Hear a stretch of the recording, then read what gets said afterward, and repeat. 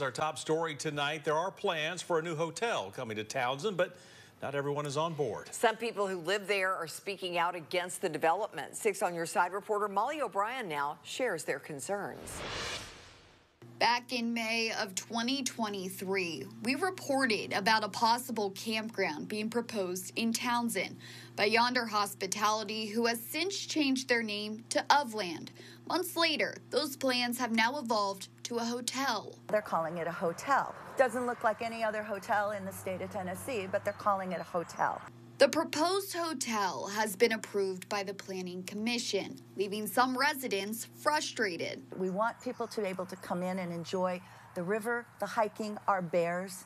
If they rezone 27 acres, we've lost habitat for, for sure two mothers and cubs that we know exist on that 27 acres. Pat Jenkins, another resident of Townsend, echoing Tommy McAvoy's thoughts. He fears that this peaceful side of the Smokies will no longer exist. I feel like that uh, way of life is now just getting reduced to a slogan, an advertising slogan that all the businesses are using to attract more customers to the city.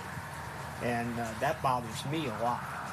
The pair tells us they welcome tourists, but they fear this hotel will turn Townsend into a place like Gatlinburg. We're not anti-business and we're not anti-tourist. Obviously, a lot of our of, of our profit comes from, from that. But we want to be an alternative to Pigeon Forge and Gatlinburg.